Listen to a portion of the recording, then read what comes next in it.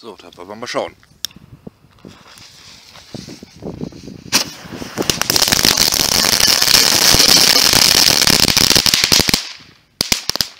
Jo, alles klar. Da war doch einer.